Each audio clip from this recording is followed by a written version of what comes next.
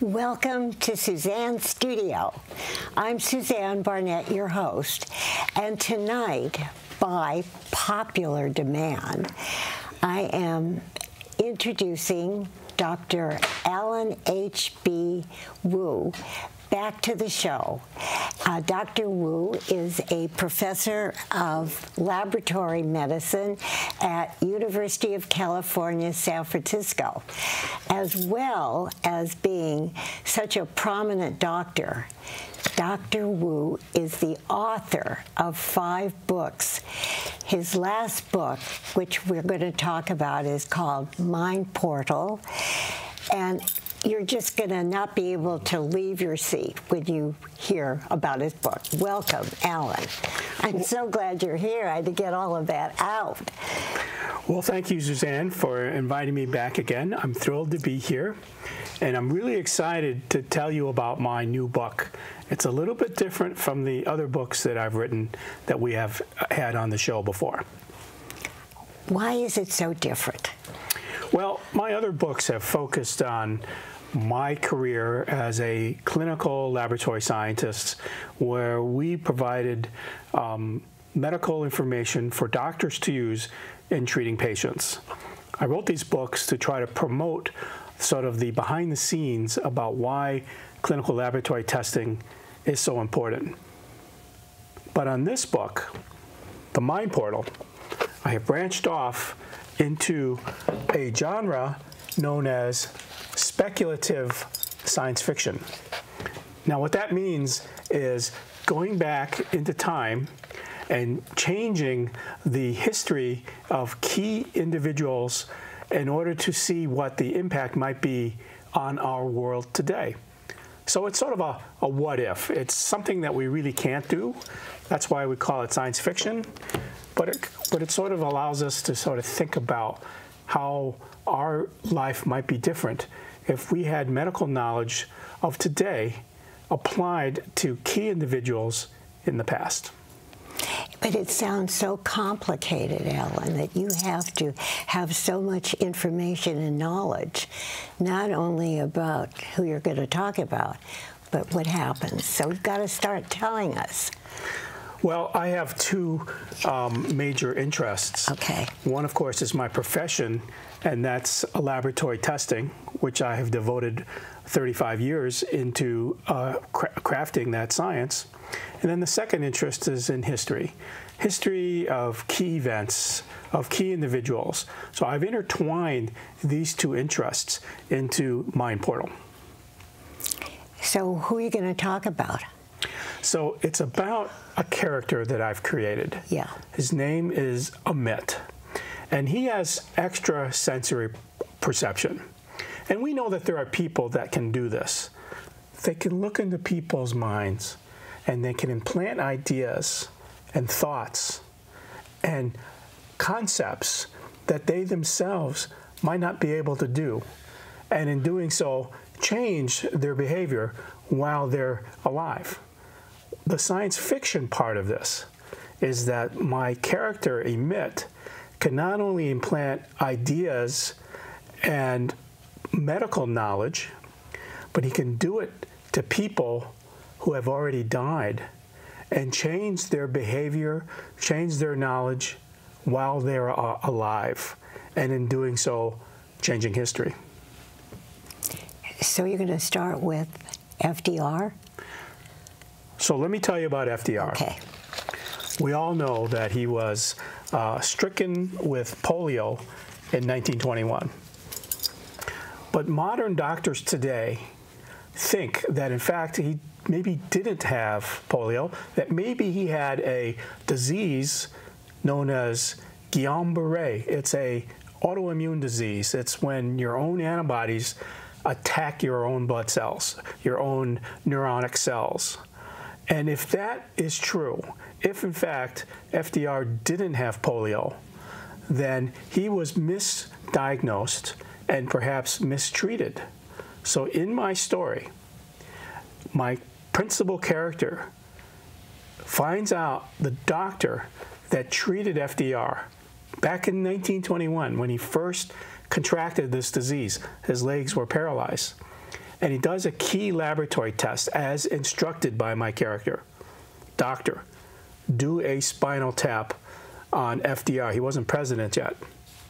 And if the result comes out positive for proteins, consider an alternate diagnosis because we now know today that polio does not come with positive proteins in the spinal fluid, but Guillain-Barré does. And by doing this simple laboratory test and directing him to an alternate diagnosis, he could have lived longer than he does in actual history, FDR. So that's one of your stories.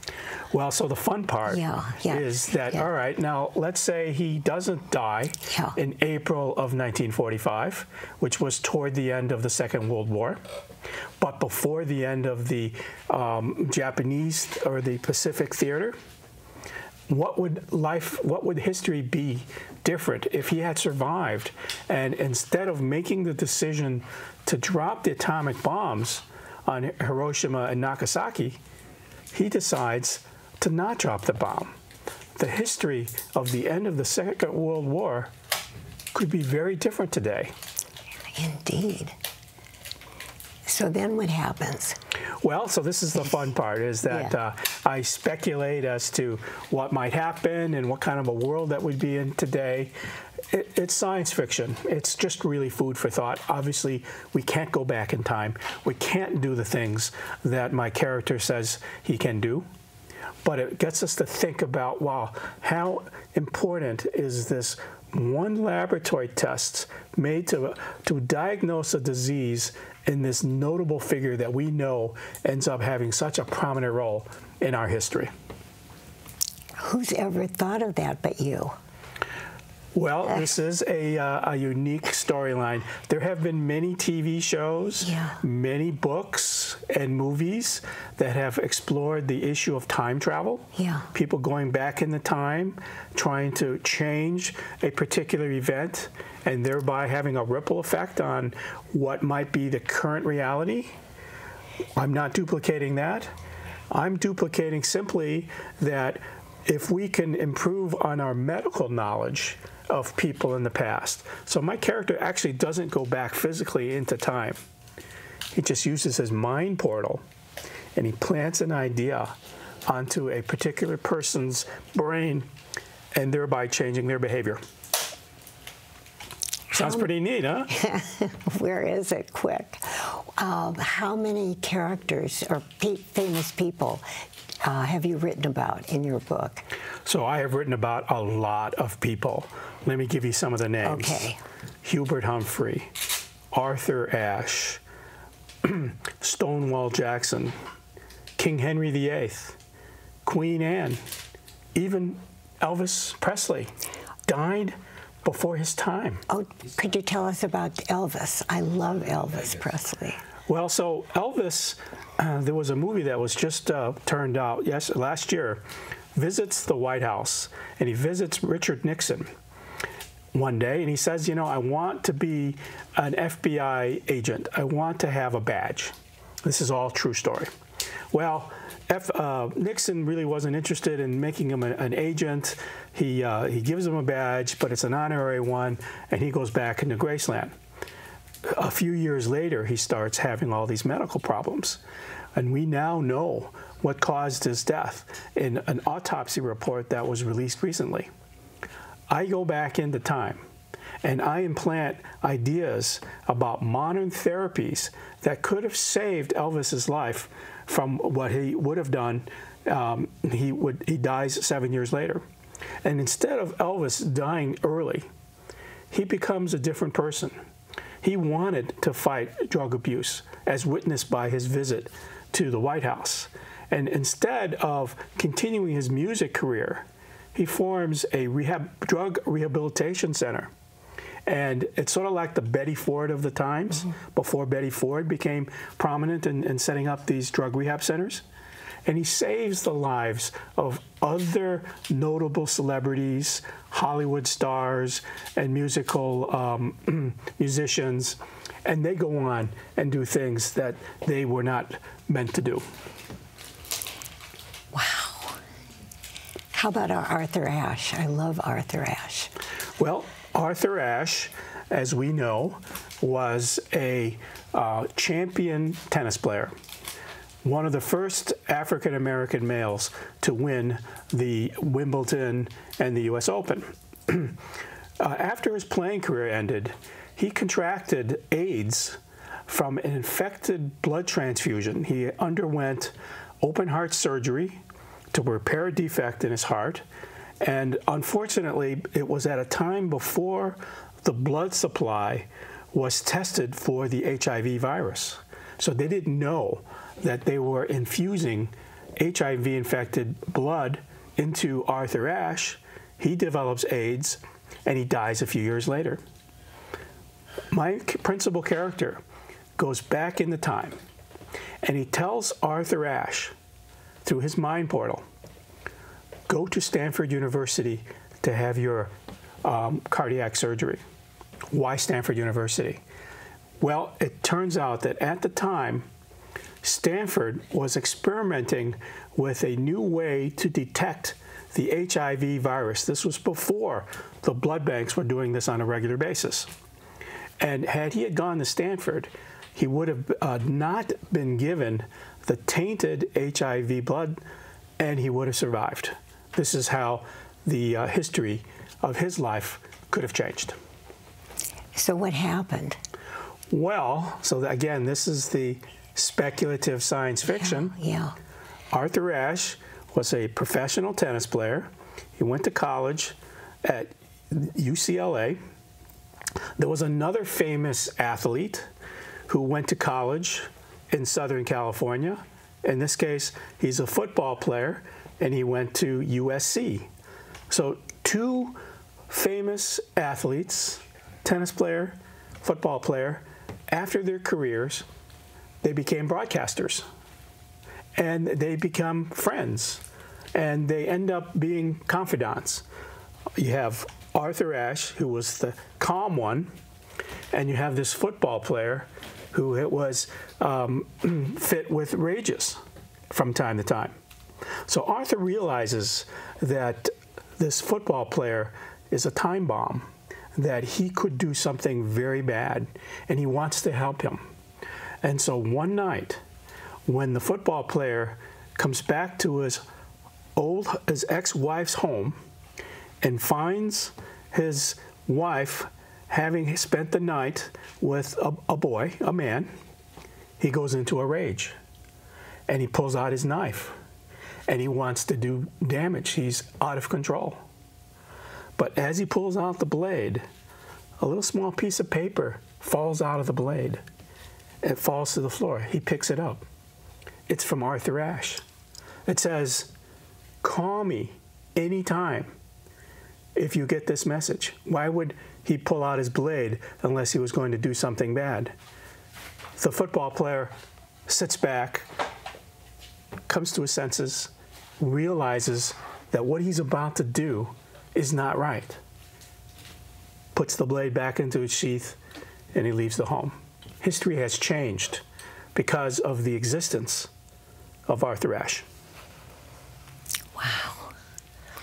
Too bad these aren't true. Well, um, I mean, how much know, of a better world we would be in. I know. And didn't you do Henry V? Henry VIII. Eighth. Henry, Henry VIII. Okay. Well, so we know about Henry VIII. Yeah. King of England. He had all these wives. And when he got tired of one, he would cut their head off and marry another. He tried to get legal divorces from the Pope, but the Catholics then and today don't believe in divorce.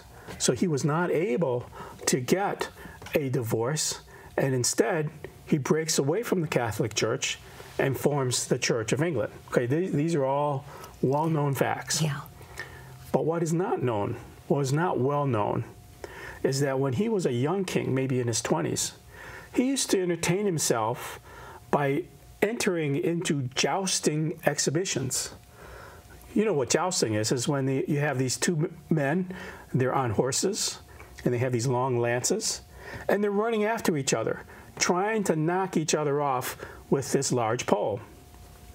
One time, he, the king got hit in the underneath the neck with the pole, underneath the mask, knocked him off the horse, fell back on the ground. He was unconscious. He suffered traumatic brain injury on that day. Those are the facts. These are these are Right, well yeah. described that Right. Henry VIII Yeah. had suffered what we now know today medically as traumatic brain injury. Now, what happens from that point? History showed that up until that point, he was a pretty good guy. He had he had a loving wife, and he had no ideas of divorce, and he was very kind to his servants, to his uh, people. From that day on, historians believe that his personality changed, that he became much more aggressive, much more belligerent, intolerant. And we now have a condition that is associated with this behavior. It's called PTSD, post traumatic stress disorder. We see that in our soldiers, we see that in our football players, we see that in anybody who's had TBI, traumatic brain injury. So, what did your character do to him? So this one was a simple one, Suzanne. Yeah. Amit goes into King Henry VIII's brain and says, You are the king. Everybody depends on you. Doing this jousting exhibition is not in your best interest. Something bad is going to happen, and it's going to change your life forever for the bad. Don't do this. He takes it to heart. He doesn't. He stops participating, and the his, English history changes from that moment on.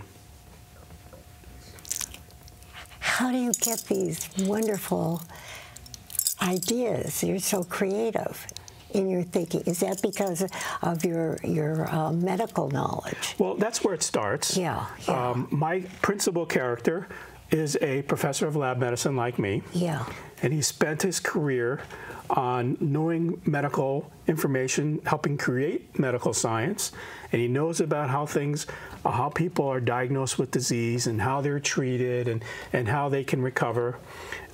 And so the fun part, though, is trying to find people in history who have been uh, critical in terms of timelines for how world events unfolds. And that's one premise. And the second premise is that it's something where uh, an individual dies sooner than they should have. So let's talk about Stonewall Jackson. Okay. Stonewall Jackson, Confederate general, decorated in the Civil War. He ends up getting injured, shot in his left arm by friendly fire. And back then, there was not much you could do. You pretty much had to cut the arm off in order to prevent an infection. All right, so that's what they did. And then the doctor said, you know, you've just had your arm amputated. You're very, very ill, or, or rather wounded. We, need, we are going to prescribe bed rest for you. And seven days later, he dies of, of, of pneumonia. At least that's what historians said at the time. Well, now modern historians think that no, he didn't die of pneumonia. He died of a blood clot to his lung that started from his leg and traveled up. We see this today all the time. People who are immobile, people who take long flights on airplanes and don't get up out of their seats, people who are pregnant and have what we call a hypercoagulation state. We now know what to do about it. You don't sit and lay down, you get up and you walk around. You get your blood flowing. You prevent the clots from forming. That's not what happened in Stonewall Jackson's case. His doctor said, You need bed rest. He survives his amputation. He dies of a blood clot in his lung. Again, we don't have anticoagulant drugs then as we do today. We couldn't really treat this blood clot back in the 1860s, but it's a simple solution. Amit tells the doctor of Stonewall Jackson, you need to get up and get out of bed. All the nurses are saying, we can't do that. That's terrible. And, and, but yet he says, I don't know why, but this is the right thing to do. And of course, Jackson, being this aggressive general, couldn't wait to get up out of bed, get back to the firing squad, I mean, back to the firing line, and participate as a, a leader of the Confederate forces. And he survives. He does not die a week later. And what does he do? He ends up being the winning uh, general in the Battle of Gettysburg. He's dead in real history. He's not there to fight Grant in the Battle of Gettysburg. But because he survives, the history and the outcome of the Civil War is changed. Wow. All because of one decision made by a doctor related to a laboratory test, a test that says you have uh, a blood clot in your lung. And in those days, of course, they didn't know about blood clots. No, and you know, this is all part of the speculative science yeah. fiction. Yeah. Um, today, we know this thing, yeah. and so many people now don't have this problem as he did. Well, I can't wait to read your book. And I would think this would be number one book. I mean, how fascinating. But I, I guess it's more interesting for people in our generation, right? Or, or not, I mean, people that, that we're somewhat uh, familiar with. No, I, I don't agree. Oh, and the reason I say that is that this book contains stories of people that even the next generation and the next generation know. Oh. For example, Stephen Jobs. Yeah. Stephen Jobs, we know, died of pancreatic cancer. He underwent some very experimental therapies that really was not the best therapy for the kind of pancreatic cancer that he had. If he had just stuck with the conventional therapies, probably would be alive today. And now the question is, what would Steve Jobs be doing with Apple today? He created iPad, he created the Macintosh, he created the iPhone. What new inventions could he have been involved with if he had been alive today? I speculate that in my book. It's applicable to the next generation. Of course. I want one of those. no, the thing that I really want that you've got to develop is that thing in the that you can stick in your brain. So this again, this yeah. is the fun part. Yeah. I can make up anything I want. Yeah. This is speculative yeah. science fiction. Yeah. But you know that Steve Jobs was brilliant. Yeah. Oh, His personal life maybe not so good. Yeah. But he had ideas, he had visions. And the vision that he creates is this product called iBrain. Not iPod, not iPad, iPhone, it's iBrain. It's a chip. It's a chip that you implant into your brain, and it teaches our brain how to do things, how to play a musical instrument, how to kick a soccer ball, how to look for directions without having to do GPS. It does simple things, how to speak a foreign language. That this perhaps could be something that we might have in the future, and maybe Stephen Jobs might be able to bring us that. Who knows? Boy, I sure would like to have your fertile imagination and your IQ. We're practically out of time, and I just can't say enough about you, Alan Wu. You really are a young, remarkable scientist, author, doctor. Really. Uh, it's a real honor to, to know you. Well, the pleasure is all mine, Suzanne. I love coming on your show. I love telling your audience about the things that I'm doing, Yeah. and I hope that people will uh, will enjoy my stories. Oh, absolutely, absolutely. And you have to make me another promise. I say this every time we do a show. I, I, I can't wait to see what your next book is going to be about. Do you have any ideas? I don't at the moment. Yeah. I'm, I'm trying to really push this uh, Yeah. envelope so that uh, I can Yeah. get this book uh, into the hands of uh, of science fiction uh, enthusiasts. Well, it's even not so science fiction. I mean, it sounds like it, it, it could have happened. You know, That's how I tried to write it. it's not that far out. It really isn't. And I was going to ask you one other question. When do you have time with your medicine and, you know, all the things that you do at UCSF to write your books? Well, um, I lecture at uh, different locations um, about the research that I've done, and when I'm away, that's when I write. That's uh, when I have my most creativity in a hotel room somewhere, or on an airplane, or traveling. That uh, sometimes um, I get inspired and I write. And tell about Pam. Well, Pam is my partner for life. Yes. and she helps me with every step of every story that I read. She uh, makes sure that the uh, storyline makes sense, that uh, the flow is logical, that I'm not too much overboard with my concepts. Perhaps one of the most important things is to be sure that I don't say anything that might get me into trouble. Okay. I want to thank you so much, and I wish you only the most success anybody could have because you so deserve it. Thank you. And I want to thank my crew. Boy, do we have a hot crew.